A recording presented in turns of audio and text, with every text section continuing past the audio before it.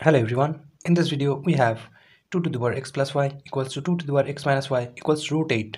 We have to find the value of x and y. So let's start. We are given 2 to the power x plus y is equals to root 8. We can write root 8 as 8 to the power half. And again we can write 8 as 2 cube power half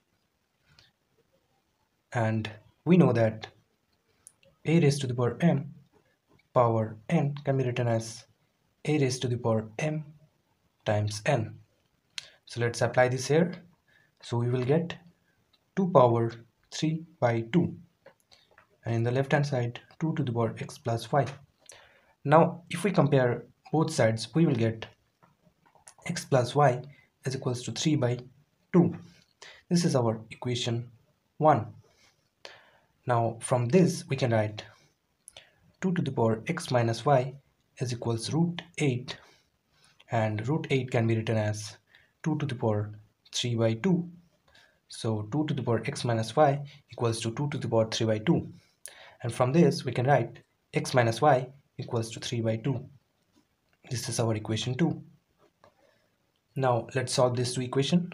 So if we add these two equation we will get x plus y plus x minus y is equals to 3 by 2 plus 3 by 2 so plus y minus y gets cancelled.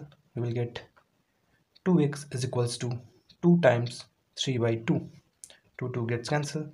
So we'll get 2x is equals to 3 therefore x is equals to 3 by 2 this is our one solution now put x equals to 3 by 2 in equation 1 we will get 3 by 2 plus y equals to 3 by 2 therefore y equals to 3 by 2 minus 3 by 2 so therefore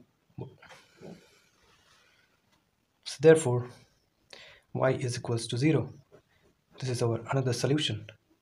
So x equals to 3 by 2 and y equal to 0 is our solution. Thanks for watching.